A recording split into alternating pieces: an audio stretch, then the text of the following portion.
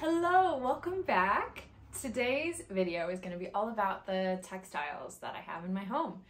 And I've been wanting to talk about this for a long time, both the textiles and the art that I have in my home.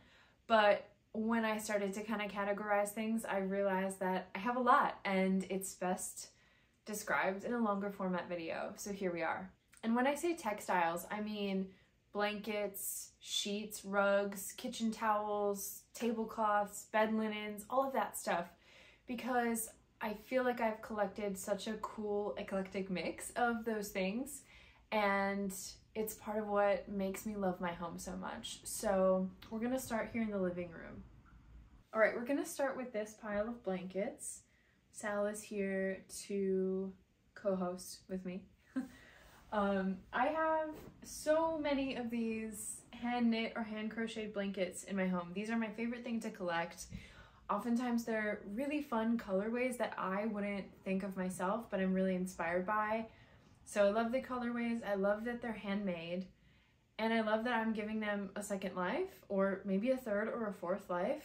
Um, they are something that I frequently hunt for. So I will look on eBay or in thrift stores or at yard sales or estate sales for blankets. It's one of the things that I definitely love to collect.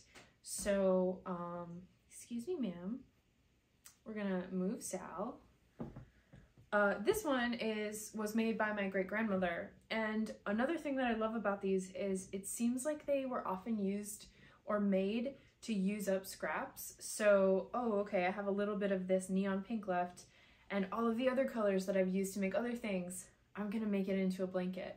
And that sort of natural inclination towards sustainability is really cool and something that I don't feel like maybe happens as much these days. I think probably in the textile, crafting, and creative world it does. I know I save all of my sewing scraps for, for stuffing floor poofs or, or things like that. Uh, and I know others do as well, but it's just such a beautiful thing. And I got this one at an estate sale, the, the classic granny square blanket. Again, I, I love how probably scraps were used for this, but then there's the consistency with the black and the cream. And Sal is driving me nuts, but you're perfect and I love you. Um, but then color pairings that I wouldn't normally choose for my home. Like I'm not usually gonna go for an olive green or maybe a gray, but because they're paired with so many other colors, it just adds, it adds a rainbow to my home. So I've got these three on the couch. Uh, let's get those back folded up sort of nicely. This one I got on eBay, loved the neon and the gradient, beautiful. All right, let's move on to other parts of the living room. Okay, next up, Floor Poof, another granny square blanket. I got this one on eBay. I have an alert set for granny square afghans or granny square blankets. And this one is really cool because normally the connecting color is black, like the one I showed earlier. Hello again, salamander. Or cream, and I loved it this one was green. Also love the neon orange. Excuse me, ma'am. I got this at the thrift store, punch needle, pillow, the poof is from Berber Stuff, and I will link all of these in the video notes, of course. Uh, this is a Moroccan rug turned poof. And then my rug is from Revival. It is a vintage rug, so you can't get it. I'm sorry, a lot of the things in my home are secondhand, um, but they do have an awesome collection of vintage rugs at Revival, as well as new, but with the same sort of patterns and materials used in vintage rugs uh, for a slightly more affordable price. And I have an affiliate link with them and a storefront where I've kind of curated some of my favorites of their rugs. So you can get a little bit of a discount if you're interested. And I, I of course, will link that as well. Okay, uh, another knit or crochet. I'm not sure on what that is. I'm gonna assume crochet. A lot of them are crochet. Um, that seems to be a scrap blanket. Uh, I got this at a thrift store in northern Michigan. This one is big and very cozy. I kind of have them on like all arms of the couches, the chairs, just so that there's something within reach always. And then I sit here every morning and do my morning pages. This is a, I think a Moroccan rug turned pillow. Uh, I got this from a business that is no longer in business, The Good Rug. And then another one, another granny square. This one's on the back of the chair so that when the cats get up there, they're not kind of ruining the velvet of the chair. So just a couple more in the living room. That is actually the the total of all of them in the living room. So let's move on into kind of kitchen linens, napkins, things like that. All right, I'm gonna keep doing this on the couch because there's not very much light in the kitchen, so why not use the green couch as the background? So for kitchen linens, uh, one of my favorite things to collect, you know that I'm a collector based on everything in this house, uh, is, is linen napkins. So cloth napkins are one of the things that I started doing many years ago to try to reduce you know, the amount of waste that I'm producing. And since implementing that in my house and starting to use dishcloths and things like that, I've been able to stop buying paper towel, which feels really good because paper towel was invented like in our lifetime.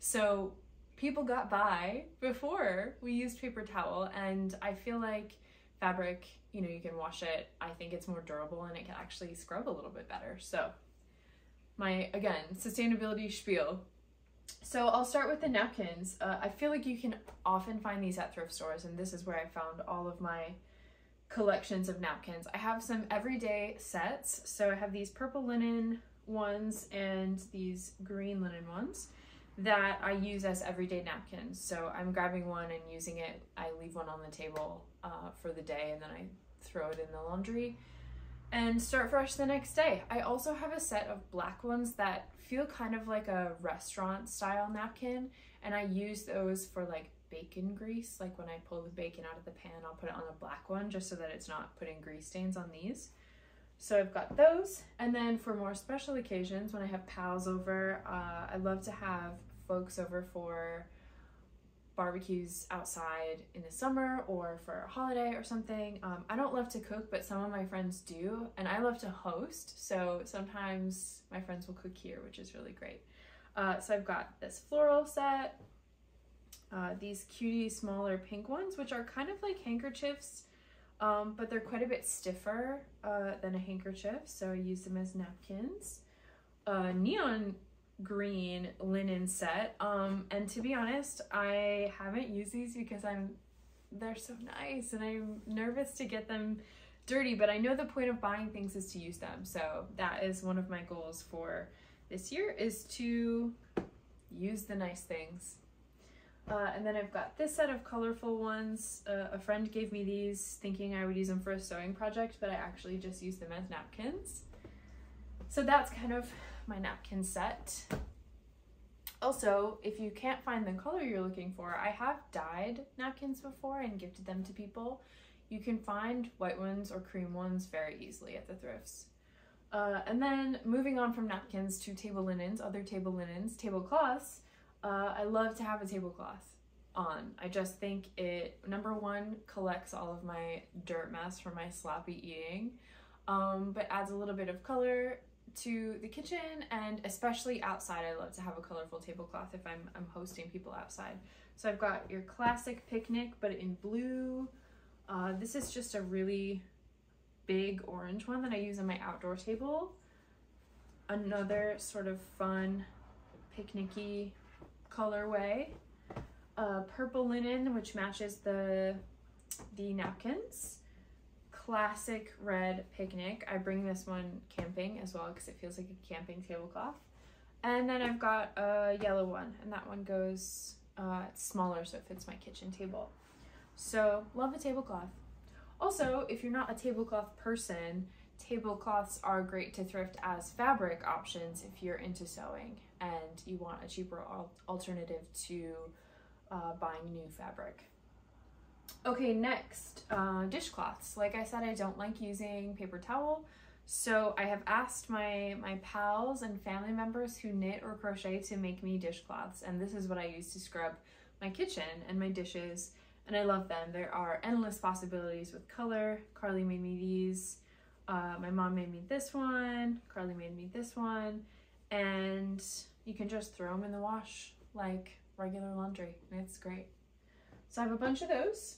Uh, I also have some more stuff from my great grandma um, pot holders to grab things out of the oven or, or set a hot dish on.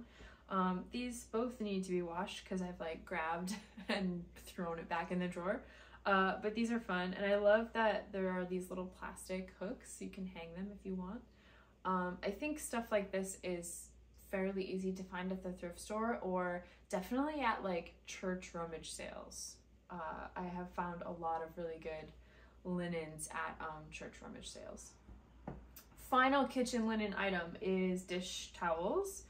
Uh, these are both new. Uh, I bought this one and an, a bunch of others that are in the wash right now. Um, marbled, hand marbled by a gal who runs Niffich, N-I-F-F-I-C-H. And um, I just really love her marbling work and how she uses colors. So I bought a bunch of those. These are just like the flour sack um, tea towels. And then there's a shop in LA called Suay, S-U-A-Y, Suay Shop, and they do dyeing and they do textile stuff. So they will take donations and rework garments. You can send stuff in um, to be dyed in their community dye baths, which is really cool, giving something new life. Uh, and then they also have a small shop. So I got a few linen tea towels there. So that's my kitchen linens. Okay, now we're in my office. And there is not really a good vantage point for me to sit and show you all of the textiles in here. So I'm just gonna talk about them and then pan with the camera and show you what they look like. The first one is the rug on the floor, checkerboard rug, very, very fluffy. I, I'm not sure what style of rug this is, but this is one that I got on eBay and they have comparable ones on Revival.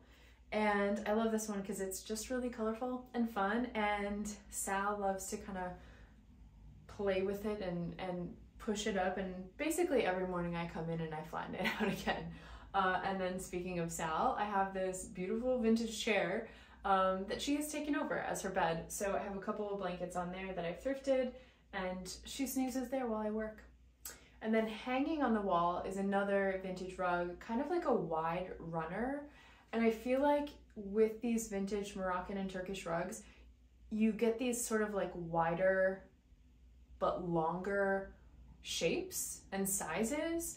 And I found that they're really great to hang on the wall as artwork. And so I love to do that. And that's that's something that I've done a couple spots in my house. So uh, the final thing in here as far as textiles is when I was in Paris the very first time at the flea market, I was really determined to buy fabric because I was like, I can make a project with some special fabric from Paris.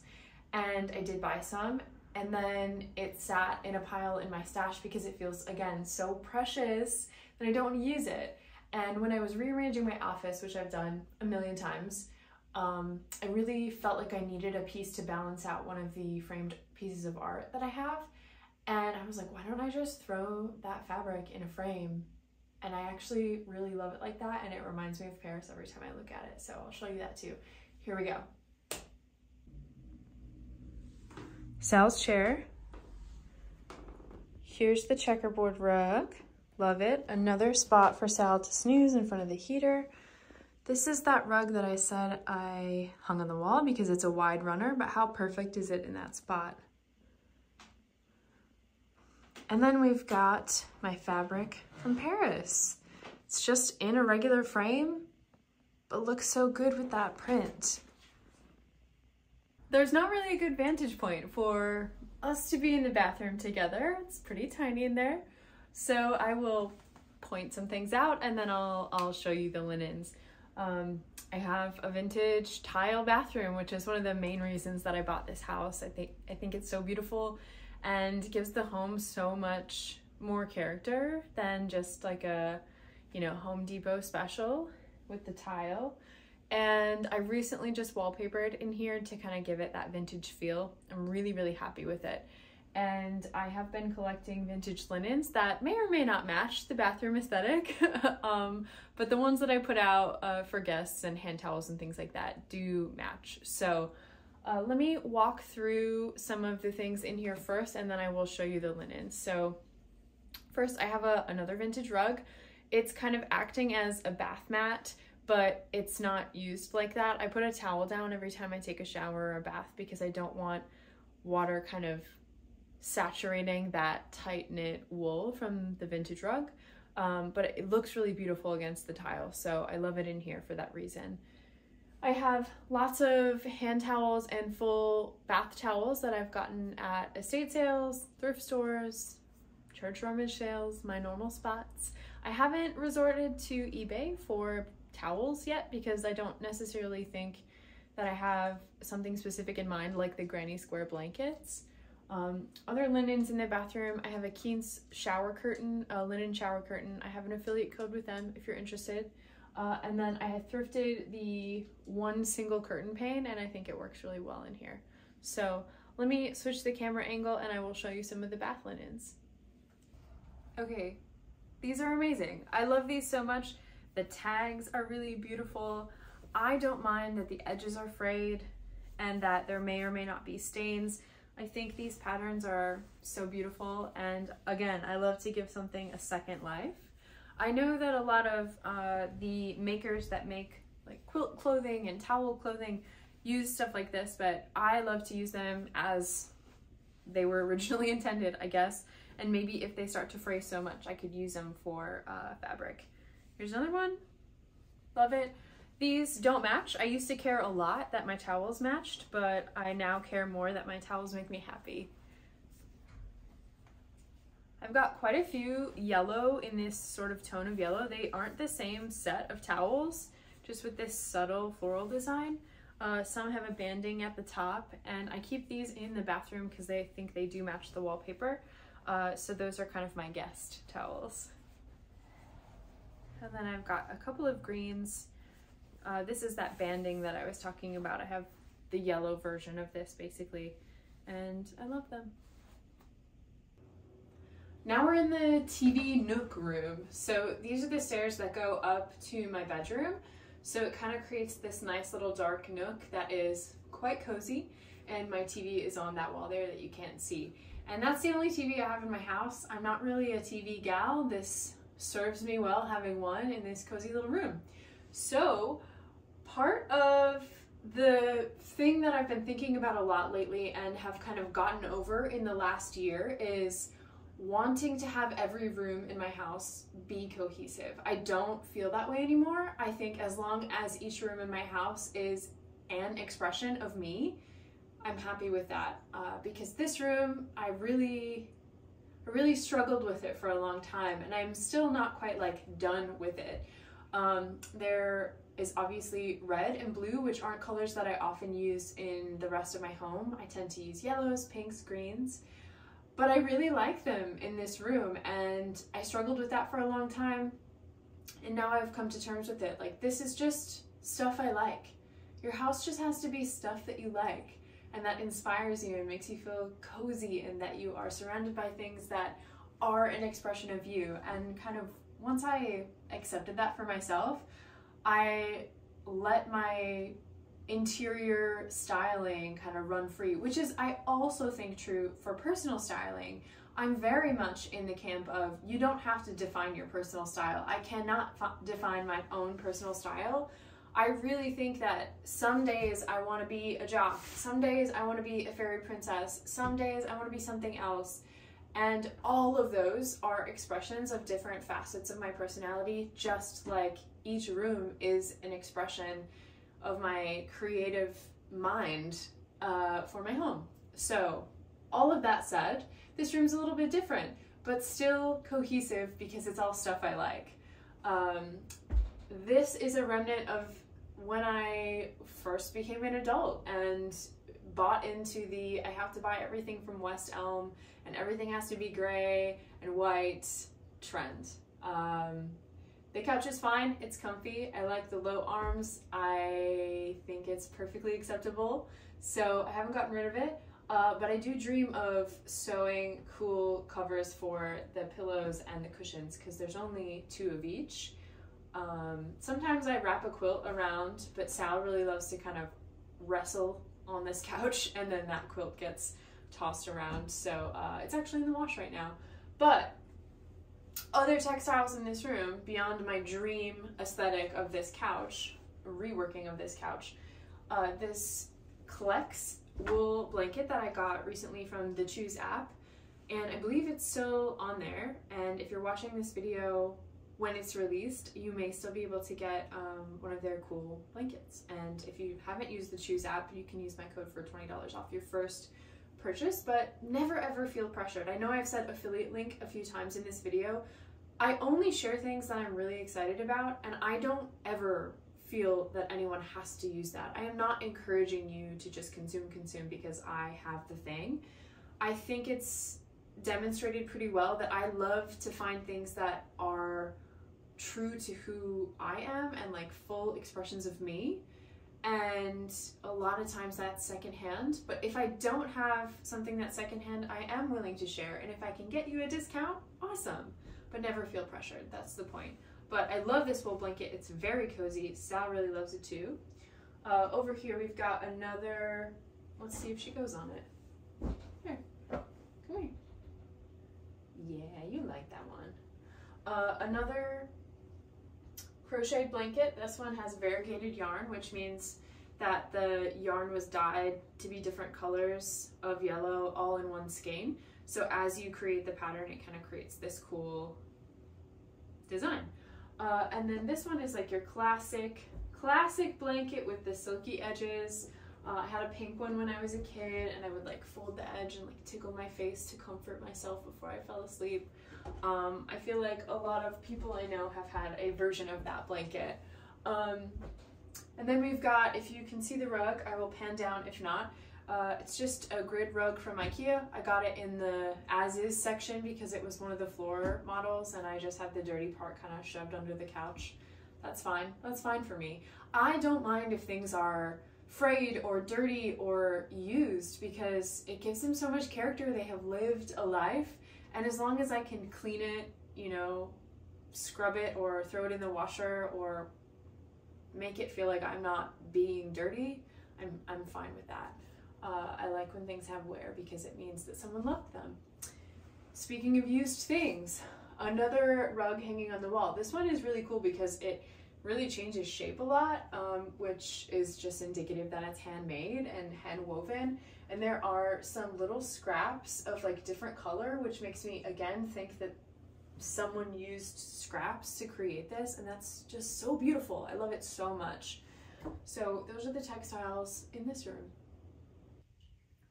All right, we're back in my bedroom, location of the first video. We're gonna end here. I am struggling with this room. I I want my bedroom to be a calm room. I don't want it to be as bright and energetic and enthusiastic as my living room. And I need it to have a lot less clutter for me to feel like calm to go to sleep. And I also still really wanted to feel like me. So I have been experimenting with this room over the years. You can see that in the background, I have striped wallpaper, which I still really love. I added that last year. Uh, a couple of years ago, I added this wavy black blob kind of as a makeshift headboard, like a painted headboard. And I have a lot of neutral artwork up here that I really like from printmakers, from estate sales, just like really cool stuff that sort of fits that neutral theme. But it's not feeling enough like me anymore. So I kind of went through a phase where I'm like, all right, I'm gonna dye a bunch of bedding and have it be really bright, but then everything else was neutral, so it didn't really go. Um, I have a bunch of these vintage chenille bedspreads. You can find these on eBay and I buy white ones and then I dye them. I have this color, which is like very neon yellow green at the moment. It has faded sort of up to this yellow color. I probably need to re-dye it with some green to tone it down a little bit. Uh, I have a blue one and I have a purple one. And the purple one dyed way too dark. It has, it's slowly starting to lighten up with washes, um, but none of them really fit. And the checkerboard rug that's in my office, I bought for this room to try to think like, okay, if I have a bright rug with the bright bedding, will that go? It didn't really work. I definitely move things around a lot in my house. So this rug has been in the office, it's been in the TV room. I'm thinking about potentially hanging it over the air conditioner because I'm gonna get a larger rug from Revival that will kind of fill this whole space. Um, so it's still an experiment and my next step is to paint that wall and cover up that black blob and I think that that will help me feel a lot kind of warmer, cozier in this room. So in that process of building up the coziness, I got these sheets from Quince and they're linen sheets and I am a convert to linen sheets. I was so resistant at first because they are expensive, especially for a king size bed to get the duvet cover, a sheet set, pillowcases, it can be like upwards of like three plus hundred dollars. Um, so I keep an eye out for sales. Um, Quince has a very affordable price and they, they try that their business model is to try to keep things affordable but high quality. And linen sheets just like get softer with each wash. And when you get into bed, it just feels like it's like around you and cozy and not stiff like others are. And I don't like the feel of jersey or flannel because I get quite warm when I sleep. And so it's linen sheets only for me. Um, but I also like to change things up. Uh, so I have this set, I have a green set that I got from Etsy that I usually pair with this, this chenille coverlet. Um, and sometimes with this crocheted daisy blanket that I got at a thrift store in Florida with my mother for $5. Beautiful. Someone put so much time into making that and now I get to appreciate that and give it another life. Oh, so magical. Um, I've got a blue and a purple one of these I mentioned. Those are both down waiting to be washed uh, in my laundry pile. And then I've got this quilt that my great aunt made and it's, it's hand quilted. All of this was done by hand. The applique was done by hand. A very precious, precious item for me. Um, so this is kind of the colorway that I'm thinking with the bedroom refresh is what I'm calling it. Um, I recently got some new dressers along the wall that are making me feel like everything is organized and tidy, but I think I'm gonna wrap up there. This this rug also is is from Revival and another another vintage one. I feel like you can find them in such fun colors and I love textiles. I think it's such a magical art form. I love functional artwork. How precious that someone puts so much time and energy into making something and I get to use it. It keeps me warm. It brings me joy. It keeps my feet warm. How magical! I love it so much. Um, and that's why I love to collect these things. So if you have questions about things, I will try to fill out the uh, info in the video below the video with kind of links to things. Uh, but feel free to follow up with any questions and happy hunting if you are building up your textile collection in your home. See you next time. Please subscribe, please like, please comment, share with your friends. Bye.